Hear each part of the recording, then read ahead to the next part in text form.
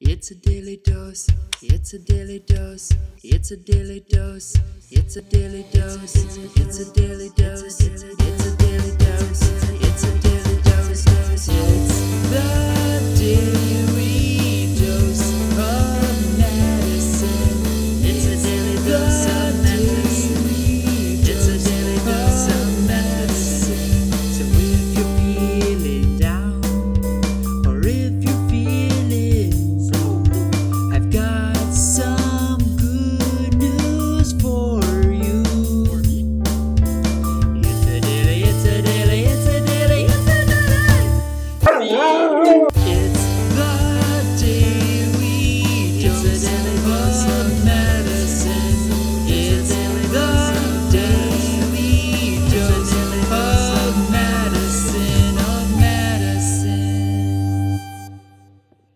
Hey everybody, you talking to me? Today is April 20th and yesterday's gonna be a much shorter vlog.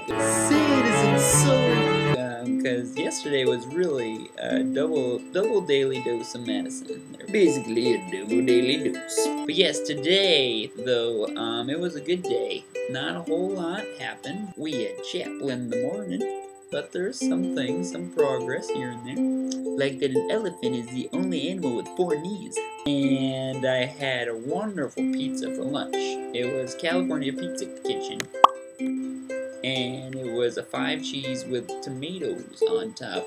But the problem is I burned the bottom. How could you? But this is how good the pizza was, guys. It was so good that even though the pizza was burnt, it still tasted good. Now that's a good pizza. I got to animate apples. Um, we have an art festival going on, and that was one of the classes you get to learn how to do. So I did some stop animation with that. Talk about a run-on sentence. Unfortunately, I don't have any visuals though. And I had leftovers for uh, dinner.